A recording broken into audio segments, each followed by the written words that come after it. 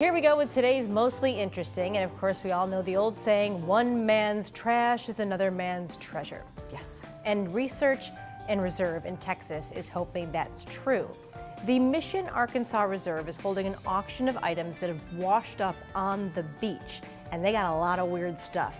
A hmm. bunch of decapitated dolls, for example, covered in barnacles, a mysterious oh. mask. Oh, God. It's gross. and a mermaid statue as well. So all of this was found during research surveys of the beach. No telling where it came from. They could be from someone's home, for example. Money raised during the auction will help rehabilitate marine turtles and birds near the Texas coast. So if they can find anybody to buy this stuff, I feel like that's going to be a good thing. Yeah. By just to support the cause. Oh, well, yeah, even if you just recycle it.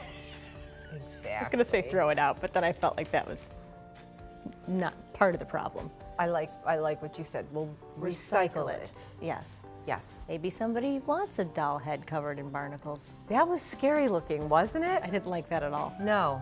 That'll give me nightmares. No.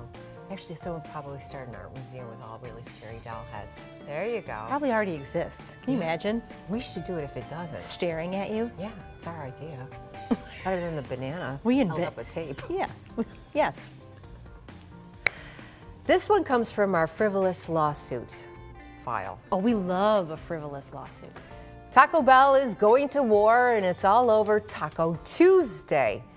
Now, according to the Associated Press, the saying is trademarked by a Wyoming based restaurant called Taco John's.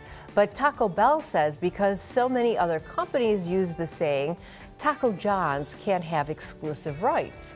In a filing, Taco Bell said Taco Tuesday is critical to everyone's Tuesday to deprive, to deprive anyone of saying Taco Tuesday is like depriving the world of sunshine itself. The filing was submitted, of course, on a Tuesday. Taco John's responded to the filing by announcing a two week Taco Tuesday promotion. Yes, Taco John's. According to AP, Taco John's rarely enforces its trademark. the beef for trademarking the words uh, even include NBA star LeBron James, who failed to get it trademarked in nine- 2019. I enjoy this a lot Yeah. because, first of all, it's interesting that they trademarked Taco Tuesday in the first place. Yes. And they could not buy that kind of Publicity. publicity. So they trademarked it. Taco Bell is taking it and saying, well, you're depriving everyone. No, Taco Bell. They did it. Yeah. It's theirs. Find a new slogan. It seems like they have a good attitude about it, Yeah. which I enjoy. That they're not in, they're not really enforcing it Right, right. until Taco Bell comes along. Then Yeah. ding, ding, ding, ding. Cashola. I see string of Taco Johns popping up in the future. Yes. Mucho quesadillas. As long as Papa John's doesn't get upset with Taco John's. Whatever. That'll be for another day on Mostly Interesting. There we